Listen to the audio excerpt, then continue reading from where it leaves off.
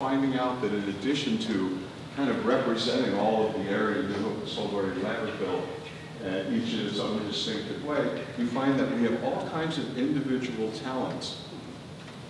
And so what we're going to sing for you now is a piece called Dona Nobis Pacem. It's not, it's not Don, no, no, please, but it's that same text, and it's from a mass that Mozart wrote when he was 12 years old. What were you doing when you were? Probably not writing masses, right? Blowing up, you know, those noxious plastic bubbles or something like that, right? Um, and so this is this is the simple text Dona Nobis Pacem.